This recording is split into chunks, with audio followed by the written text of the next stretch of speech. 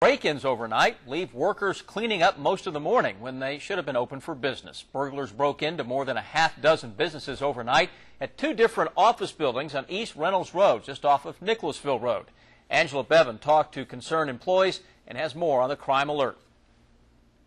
Walked in here and he said, we've been broken into. That's what several employees found when they showed up to work at their East Reynolds Road office building Thursday morning. Someone's kicked in the doors or broken the doors in some way to gain entry, then kicked in the doors to each individual business. Glass broke, drawers, uh, torn open, paper everywhere, cabinets with their keys broken into. Police say the burglars were able to tamper with an alarm system, and also they cut phone wires to the building as well. The burglars broke into two office buildings right next to each other. In one, two individual businesses were targeted, and in the other, five businesses had damage. Police say one business, Studio Walls Photography, had numerous items stolen. One particular business had quite a bit of camera equipment, uh, video camera equipment, and some of the things that go, accessories and things that go along with that.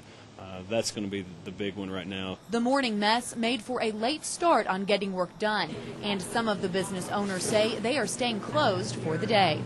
It'll put us behind a little bit, but we will we'll, we'll get caught back up. In Lexington, Angela Bevan, WKYT 27 News First.